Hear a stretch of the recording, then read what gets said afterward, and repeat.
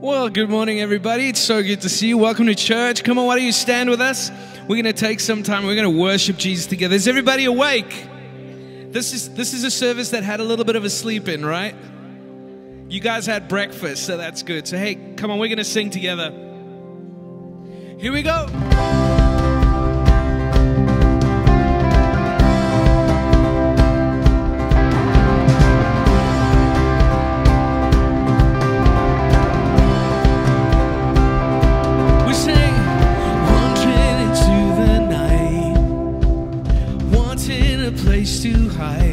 this weary soul.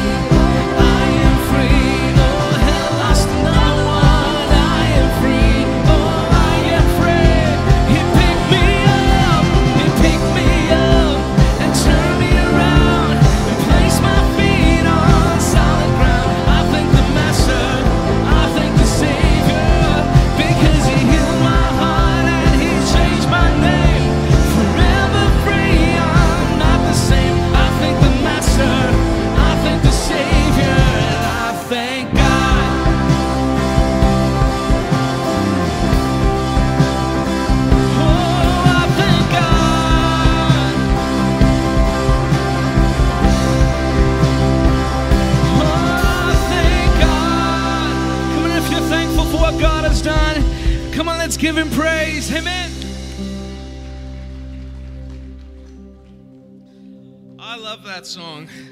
I love this that song. It's not because it sounds great. I mean, it's fun. You can get your groove on. It's okay to like have a little dance in church. David danced before the Lord, and all that jazz.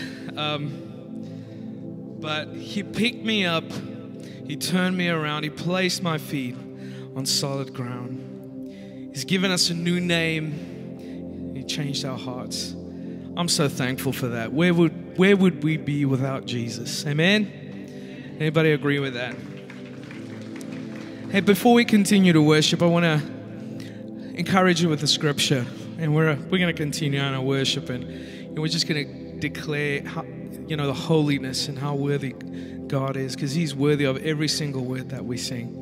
But in Ephesians three, let me read this to you from verse 14. It says, "For this reason."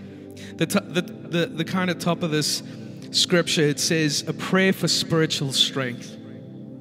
And it says, For this reason, I bow my knees before the Father, from whom every family in heaven and on earth is named, that according to the riches of his glory, he may grant you to be strengthened with power through his Spirit in your inner being Verse 17 says, So that Christ may dwell in your hearts through faith, that you, being rooted and grounded in love, may have strength to comprehend with all the saints that is the breadth and length and height and depth, and to know the love of Christ that surpasses knowledge, that you may be filled with all the fullness of God.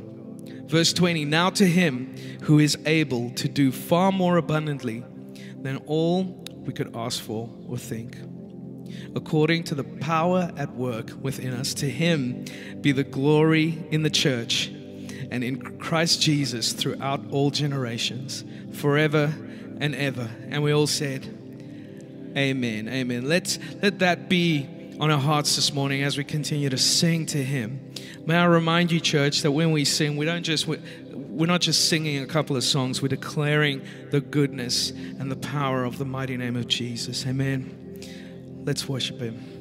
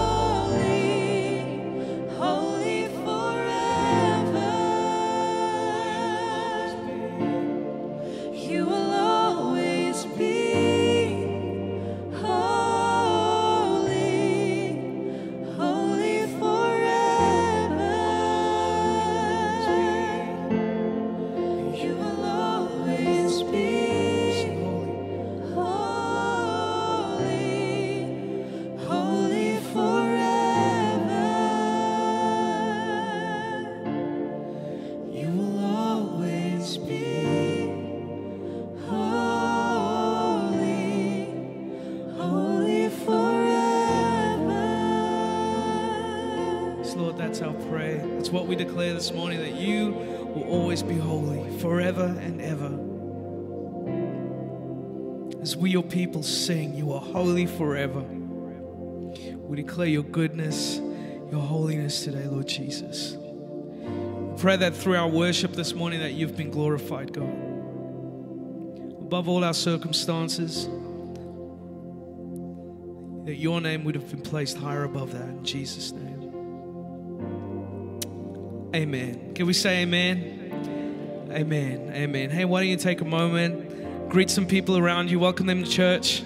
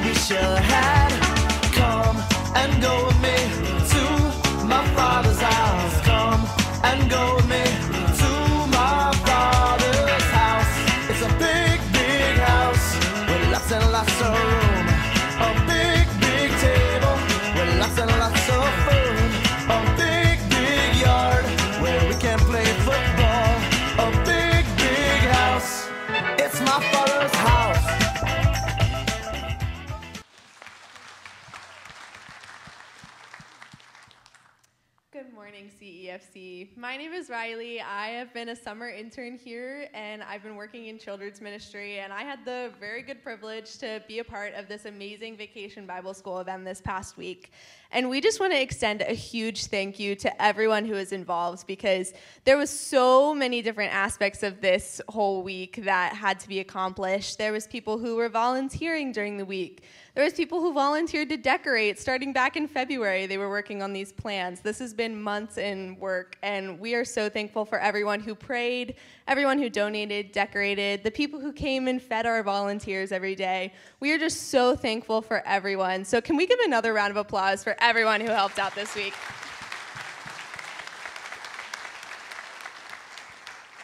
And we are so excited to say we had over 200 kids signed up and attending our VBS this week. And we have over 100 volunteers who came.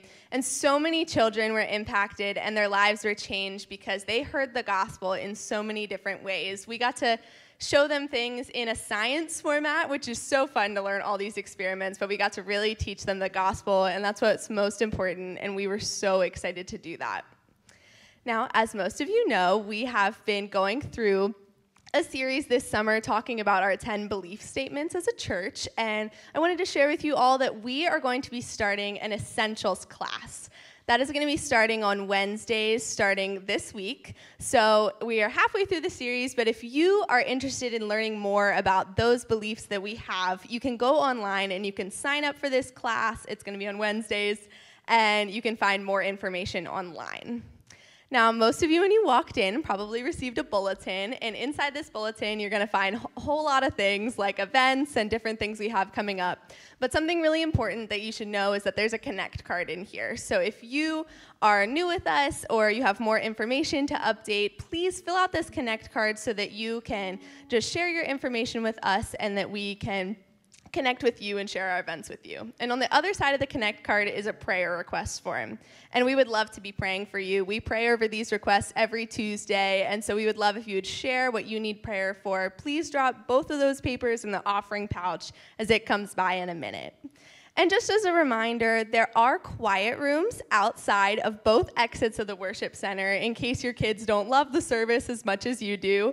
Or you can always take them to our Kids Cove area. We would love to see your kids and to teach them the gospel in a way that they understand and to just have our volunteers just meet them and spend time with them. So you can head out to the fish tank if you'd like to go there. But now we are going to be taking our offering. Thank you so much for your obedience and continuing to give to our church. And we appreciate your assistance in our ministry here. So, would everybody bow their heads with me this morning? Dear Lord, I want to thank you for everyone that you've brought here today. Thank you for everyone who helped out with Vacation Bible School over this past week. It was truly tiring, but you helped us all to persevere, all of us to continue to praise you and to just worship you by sharing your good news with everyone. And we shared them with all ages, from newborn all the way up to fifth grade, and to our volunteers, everyone who helped. I pray that as we continue throughout this summer and throughout the rest of this service, even, that you will fill this church with your spirit and fill the, everyone's hearts in here with your spirit, and that we will see you move, and just that this message this morning will impact everyone here in their walk of life, that you will help them to really understand it and to feel your presence. I pray and ask this all in your holy name. Amen.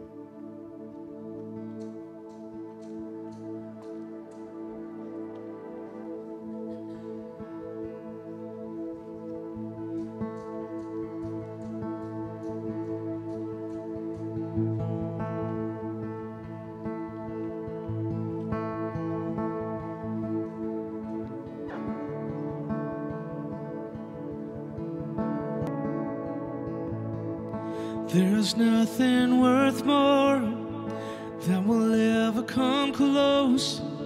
Nothing can compare.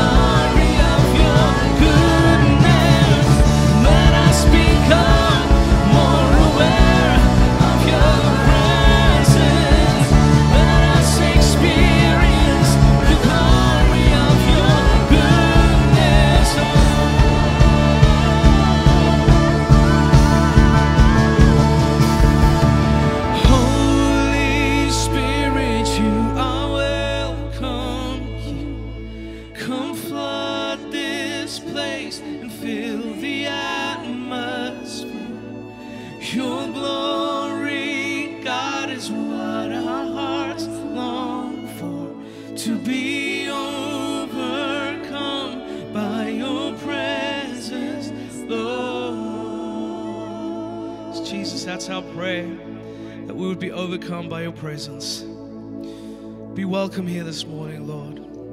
Bless us as we receive the word this morning. And speak to us today. In Jesus' name we pray. And everybody said, Amen. Amen. Want you to take your seats and be blessed by the rest of the service.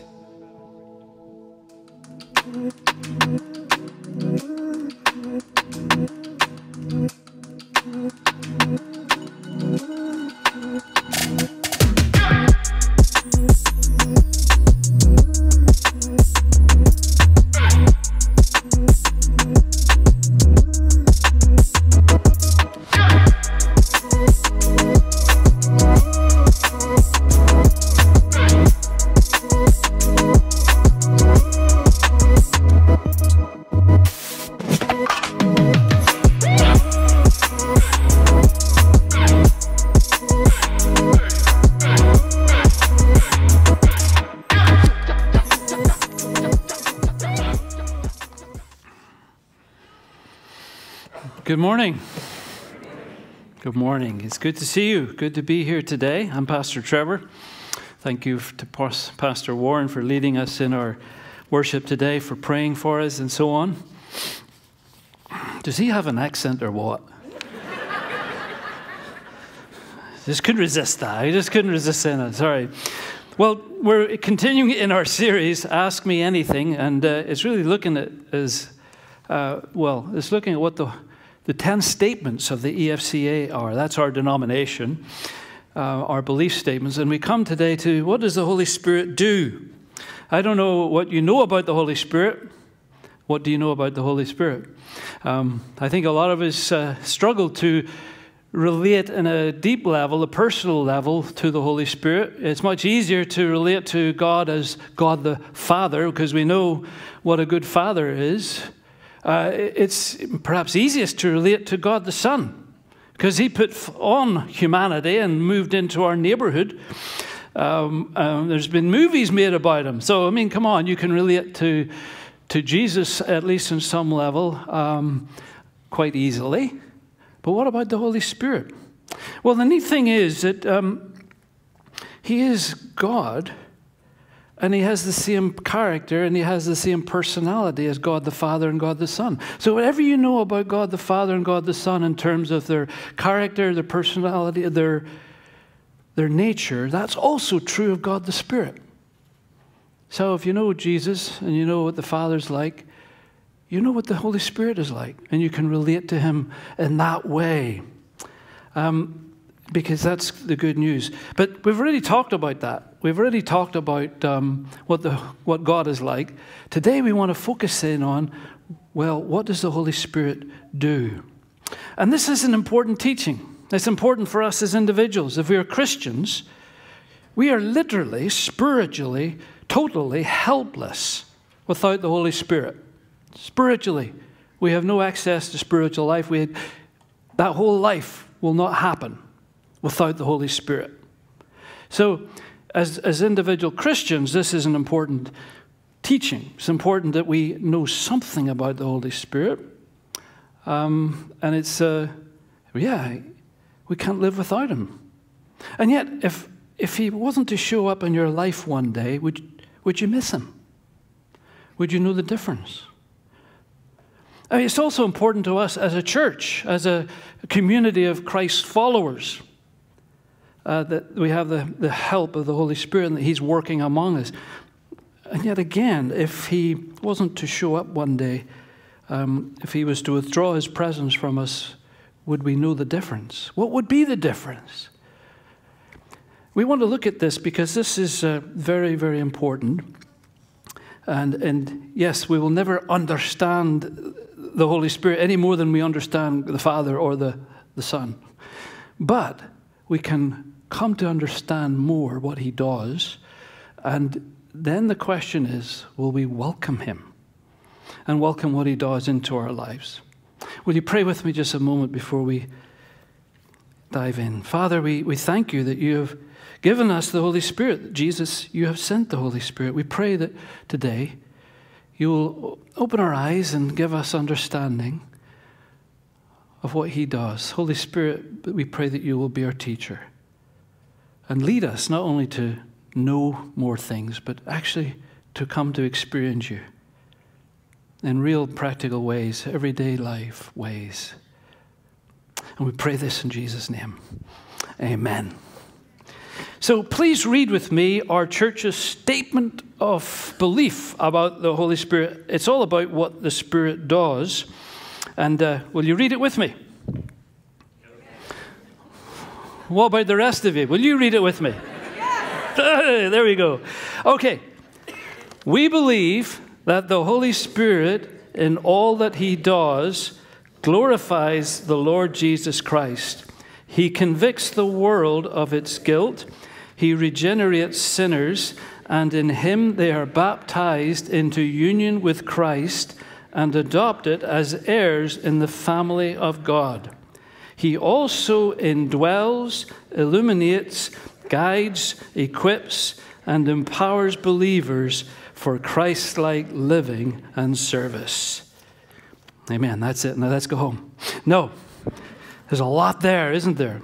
You know, I'd like to start with what Jesus said um, in John 16, verse 7, because he said a very surprising thing there that sheds a, a, a light on the Holy Spirit and what He does that maybe we don't often think about. And that in John 16, He's just told His disciples He's going to leave them, and they're very sad and, and troubled by that.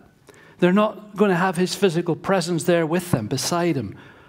The way they had his physical presence right there, teaching them, encouraging them, you know, telling them what to do, when to do it, how to do it. And, uh, you know, he, was, he says, I'm going to leave you and they were down about that. But then he said, John 16, verse 7, I tell you the truth, it is to your advantage that I go away. For if I do not go away, the Helper will not come to you, but if I go, I will send him to you. And so Jesus is saying that actually, it's actually better. There is something better than having me with you, my physical presence alongside you, in this world, and that is having the Holy Spirit in you. He will be a helper to you that I can't even be. Well, there's something wonderful and amazing about what Jesus is saying here. But it surprises me because, you know, I, I, I, often think of the first disciples. I read a story. Wouldn't it have been great to have been there when Jesus walked on water and all that? I mean, that must have strengthened your faith so much to have been there when the physical presence of Jesus was there. But Jesus is actually saying, no, we're at no disadvantage as followers of Jesus Christ in the 21st century. Why? Because we have the Holy Spirit to help us. And He is in us. And the key word there that helps us understand it all is the word helper. He helps us to live the Christian life. So let's look at that in a little bit more detail.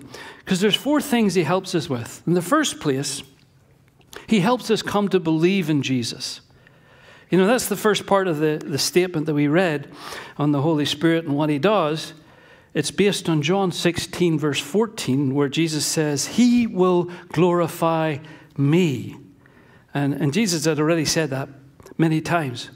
But the Holy Spirit is, comes into this world uh, with a, a, a, floodlighting ministry to shed, shed a light, to shine a light on Jesus Christ, so that people can see Jesus for who he is and for why he came and put their trust in him and follow him. He is here to help us come to believe. Uh, because I'm sure you've noticed lots of people hear the message about Jesus, but not everybody believes that message. Something happens to those who believe. It's, it's uh, you know, a lot of people see Jesus as an historical character, as somebody that really lived and maybe means something to those Christians over there, that group. But a Christian is somebody who has actually come to see Jesus in a totally new way.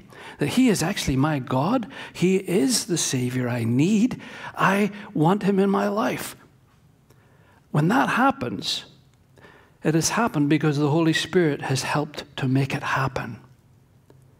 He has helped to make it happen. And so, you know, you may be a believer today and say, Oh, I know nothing about the Holy Spirit. I, it's just one of those teachings I haven't di- dived into. And let me, you may, that may be true. You may know very little about the Holy Spirit, but let me tell you something. He's already been at work in your life. If you've come to believe in Him, if you've come to believe in Jesus, He has been at work in your life. He has opened your eyes. He's helped you see Jesus for who He is in His glory, uh, in His uniqueness. And, and you've taken those steps of faith towards Jesus. You can't do that without the Holy Spirit's help. so He's already been at work in your life. And yes, He uses people to do that. He uses people to tell us the message, to communicate the message. He uses ways of reaching us. But what, what Jesus is telling us is that the Holy Spirit is the one who opens our eyes and draws us to that place where we make our faith commitment to Jesus Christ. And you know, that means if you have a friend who, who's not a Christian and they seem as hard as nails, they seem so hard against Christianity, pray for them. Pray that the Holy Spirit would strive with them, would work with them. Because the Holy Spirit can change that in an instant. He can change. If someone opens their eyes, and the Holy Spirit can open their eyes to see Jesus, everything changes. Suddenly, you have to believe, you have to follow. It just follows on. Faith is a catalyst for everything else in the Christian life. And it is the Holy Spirit's role, his work, to bring people to faith in Christ, and then that changes everything. He will help us believe in Jesus. And you know, maybe you're not a Christian yet, but you're seriously thinking about it. You have been recently. You've been seriously thinking about this. Suddenly, you know, yeah, he's, he's no longer just this historical figure that so and so might believe in or someone else believes in, but you're thinking, hey, wait a second, he, he might be for me. He might, he might be my God. He might be a teacher that I need. He might be a savior that I need. That is the Holy Spirit. That is the Holy Spirit showing you Jesus in a new way. And you have a choice to make. And I would just urge you if He's drawing you to faith in Jesus, don't resist him. He's giving you a wonderful opportunity to step into life, eternal life, through faith in Jesus. Take it. Don't resist him. Don't fight him. Because that's, that's one of his wonderful roles in this world to help people believe in Jesus. And also, secondly, he also helps us understand what we need to know. That's something else that he does. 1 Corinthians chapter 2, Paul says this about to, to believers. He says, We have received not the Spirit of the world, but the Spirit who is from God, that we might understand the things freely given us by God. You know, when you're living the Christian life, you, you, you realize that, hey, this life is not the normal life. Everybody else is living a, a, normal life in this world where they're just simply doing what they feel like doing or they're doing what everybody else is doing. And if you become a Christian, suddenly you realize that Jesus is calling you to be countercultural. He's calling you to deny yourself and to follow God's plan, God's path for your life. And that is not normal. That's not what everybody else is doing. You have to learn how. You have to be shown how. How? The Holy Spirit does that. He shows us how. He teaches us the things we need to know. And He uses the Bible to do that primarily.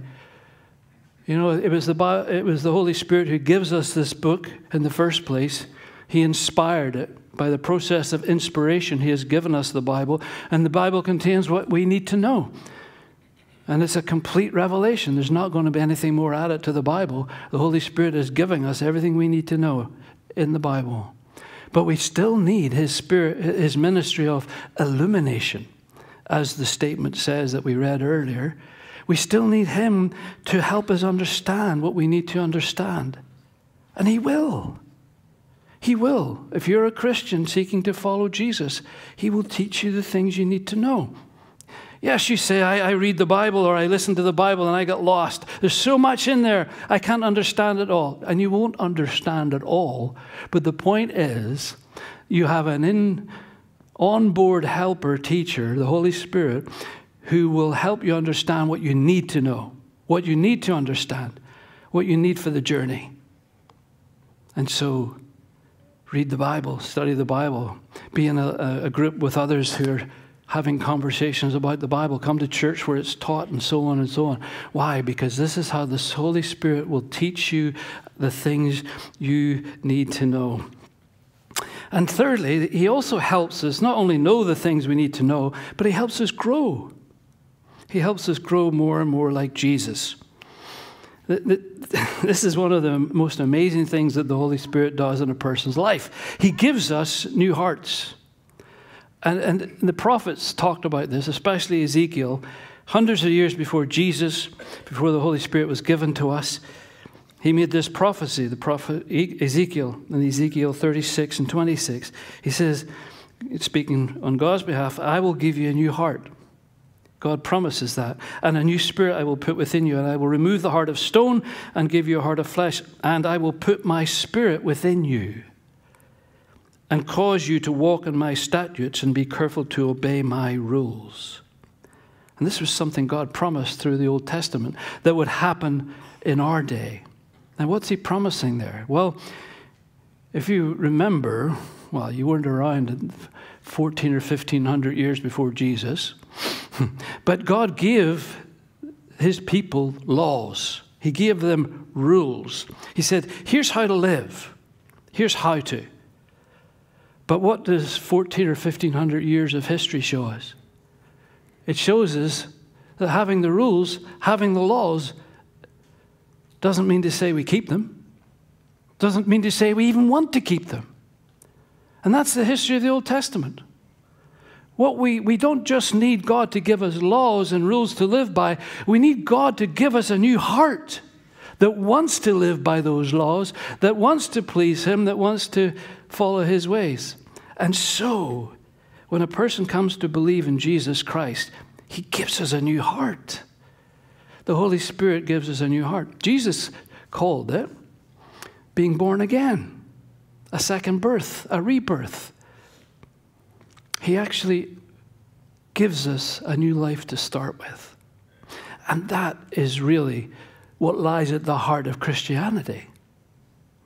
The primary blessing that God gives us is, is, is new birth, a total new start, a new heart to start with. Now, the old heart is still hanging on, the old habits, the old likes, the old sins are still there. Unfortunately, they're easily fed by this world and everything that surrounds us. But if you're a believer in Jesus, you have the Holy Spirit indwelling you, and He's giving you new desires. And you have choices to make. Will you live by the sinful nature or by the Spirit? But you now have a choice. And the Holy Spirit gives you that choice. He begins to change your life from the inside out. So, Paul talks about how God changes a person as the fruit of the Spirit. In other words, it's the result of the Spirit at work in you. He produces things like love, joy, peace, patience, kindness, goodness, faithfulness, gentleness, self control. He talks about that in Galatians 5. What's he talking about? The Holy Spirit changes us from the heart out. He doesn't just change our behavior, He actually starts to do a work deep inside our inner being that changes us from the heart out. And that is a wonderful thing that God is able to do in our lives. There was a young man who went to a pastor once, and uh, he said to the pastor, I don't understand myself. I don't know what's going on. What's happening to me? I, you know, I, I want to read the Bible. I want to come to church now. And I used to think Christians were just boring. And church was boring. I had no interest. Now I want to come to church where I can learn about God. And the things I used to love doing, I don't like doing them anymore. What's happening to me? I'm changing.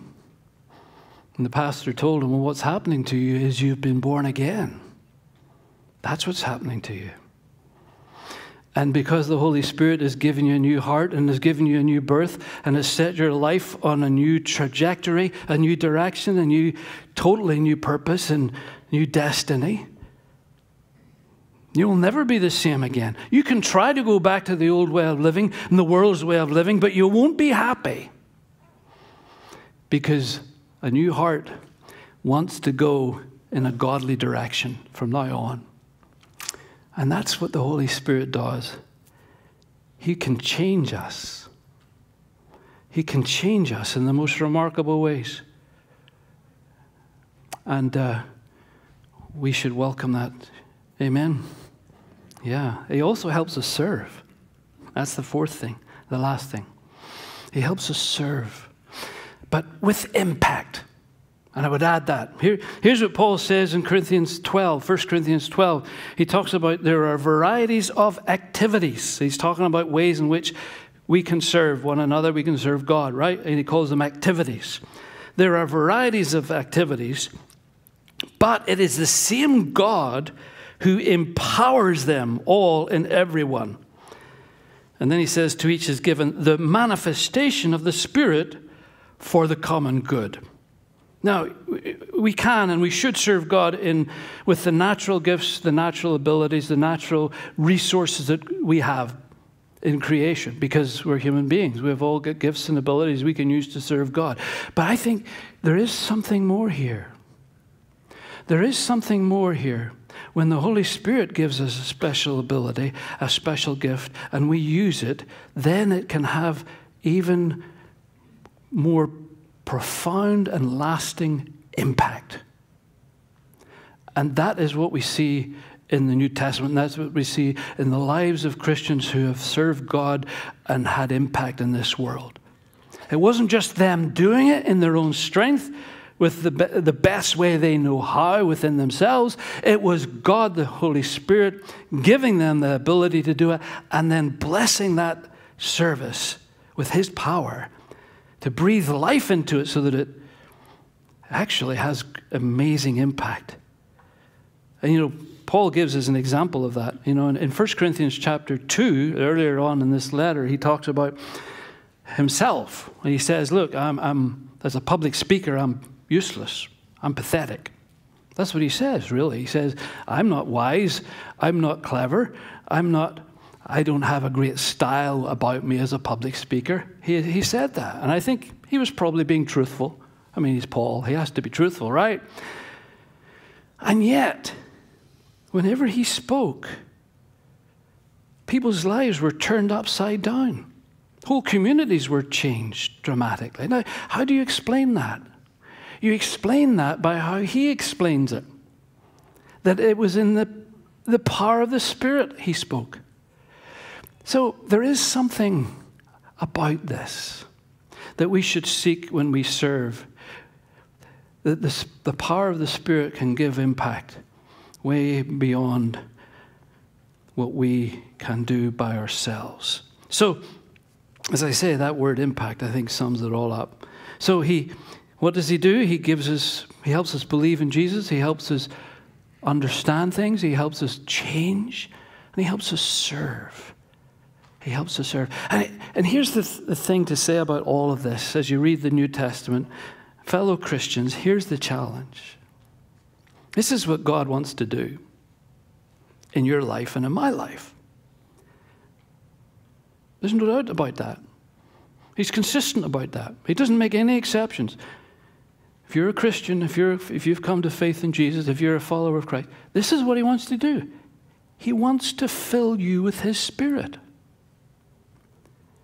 He wants you to, to live a life that's not just simply on the level of a human being doing their best in this world. He wants to breathe into you His life, His power, His energy, so that we can believe in Jesus and serve Him and become like Him in remarkable ways to His glory. That's what He wants to do. And that's what all these scriptures that you find throughout the New Testament are really saying. You know, be filled with the Spirit, be led by the Spirit. Don't quench the Spirit. Grieve not the Spirit. Keep in step with the Spirit. All of this is saying the Holy Spirit is here, and He's in your life, and He wants to do these things.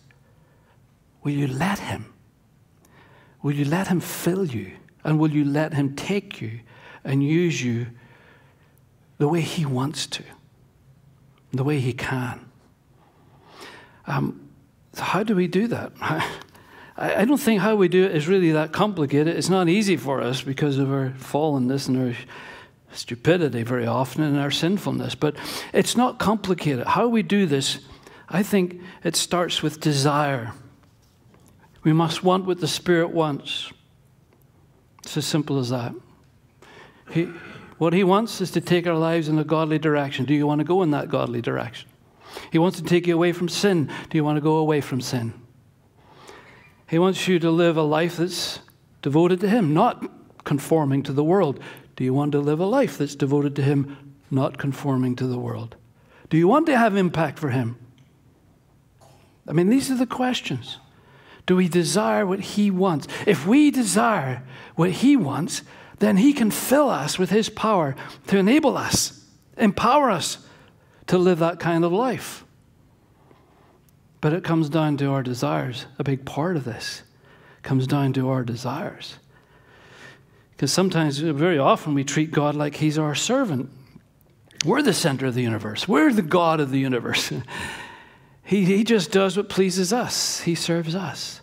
And we're asking God to bless what we are doing instead of asking, What can I do? What should I do that God will bless? There's a God centered way of living in a self centered way of living. If we want to be filled with God's power and blessing and presence every day and see the fruit of that in our lives in a thousand different ways, then we need to live our lives in line with what He wants. That's not complicated. It's not easy for us, but it's not complicated to understand. The filling of the Spirit, we, if we want it, then we must want what God wants. And sometimes we, we think we want what God wants, but all we want is what God gives.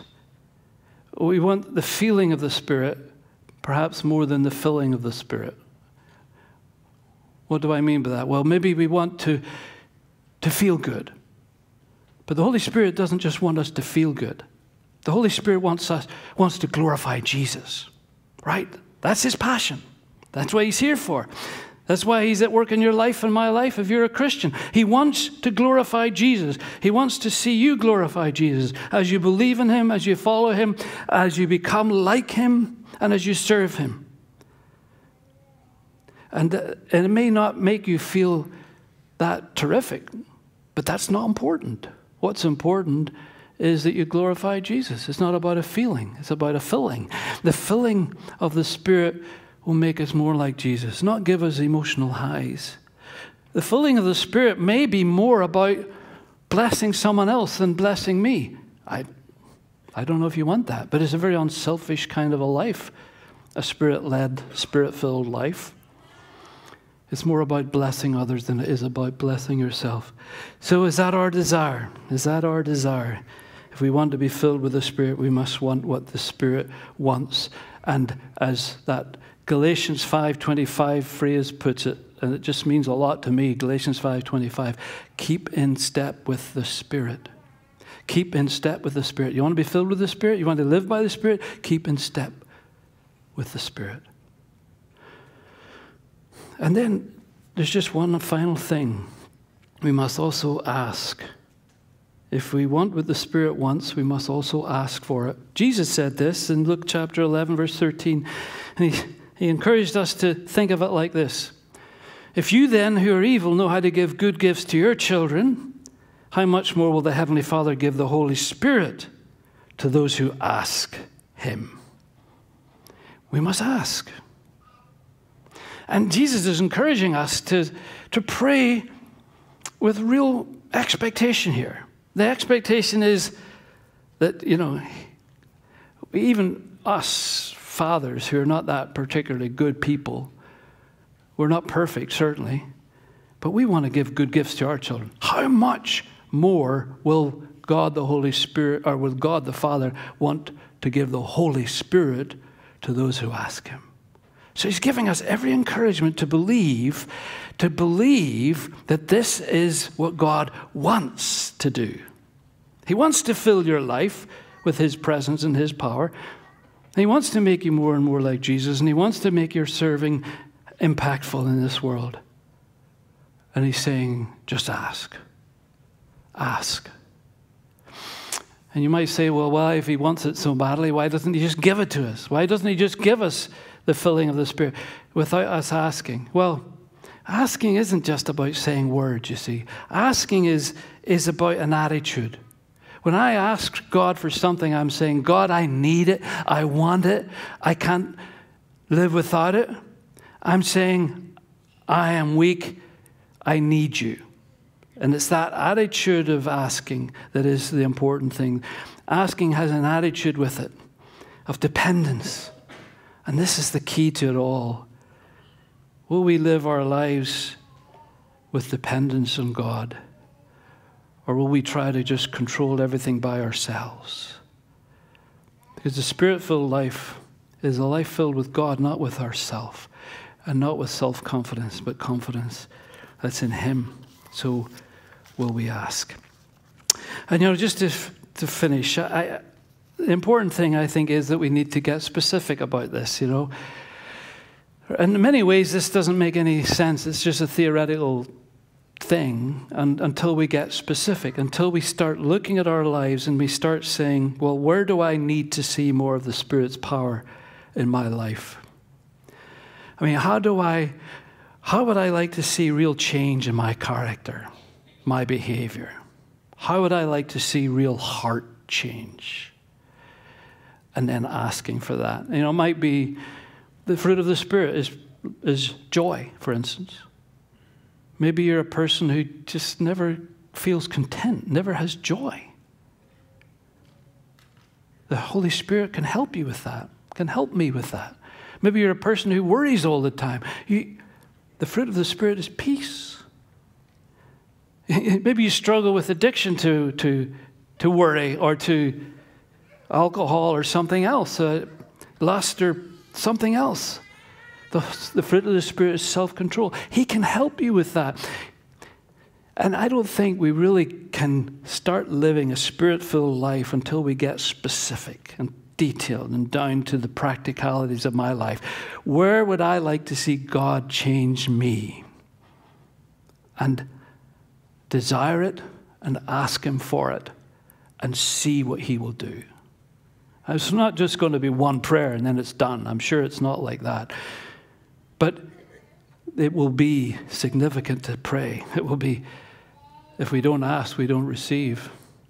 And not only that, but where would you like to see your serving of God and serving of others having more impact?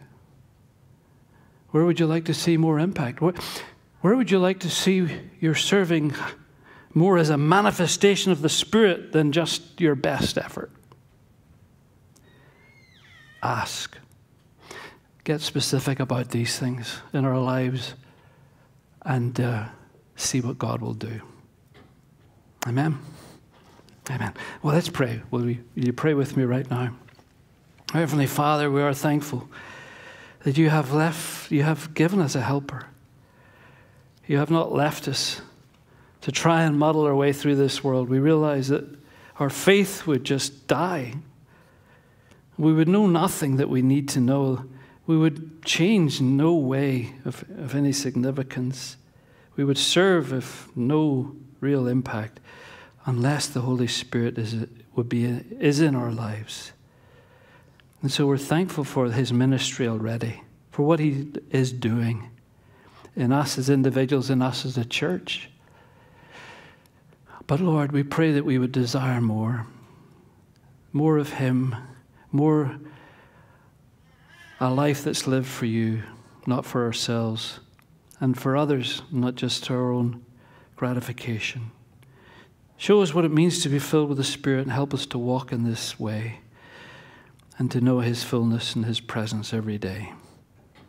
And help us pray those prayers that are specific and experience the real change and the real blessing that we need in our lives. In Jesus' name we pray these things. Amen. Amen. Well, as the band comes up to, to lead us in our, our song, you know, I, I can't help but think about Paul because he had a tremendously optimistic way of thinking about the Christian. You know, when he talks about the Christian, he had this very positive attitude, this tremendously optimistic attitude.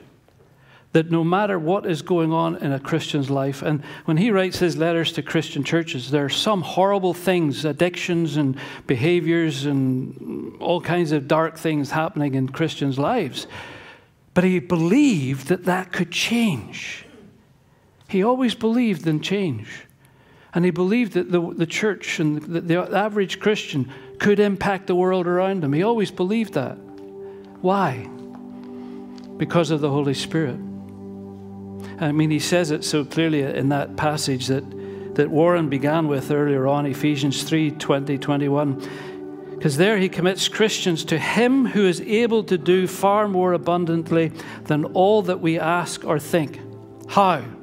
Why, why is he saying that? Why can't he say that? Well, the next phrase, according to the power uh, already at work within us. So there's nothing you can't change if God wants you to change it. There's nothing you can't do if God wants you to do it. And all we need to do is keep in step with the Spirit, get in line with what He wants, and then ask Him for the power and the strength to do that. You know, if you'd like someone to pray with you, then even during this song or at the end of the service, come forward and someone will pray with you about anything that is on your mind or heart. But let's stand and sing a little bit more about this.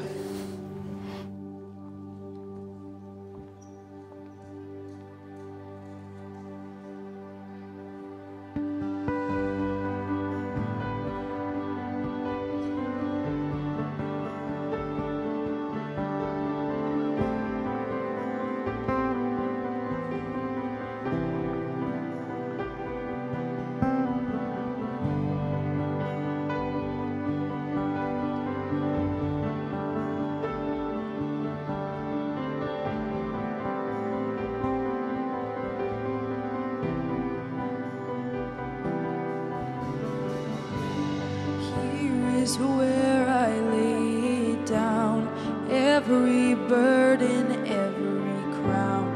This is my surrender. This is my surrender.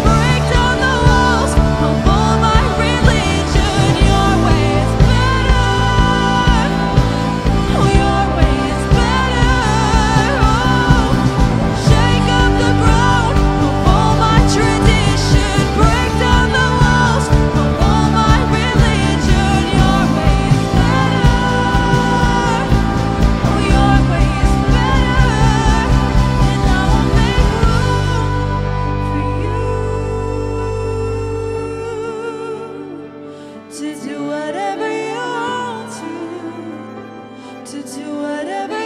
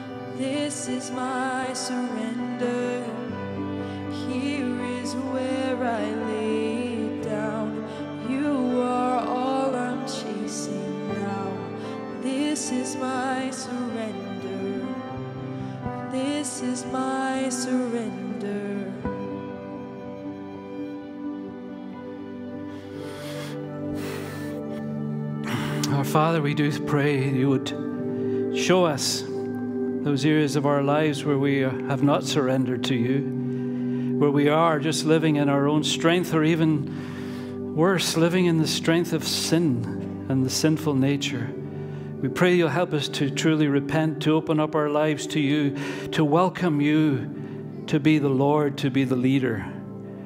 That we would be led by your Spirit, that we would keep in step with the Spirit, that we would experience His power, His blessing, changing us, making us more like Jesus, using us that our ministry, our serving, would have impact for you, for your glory, for the blessing of others in this world.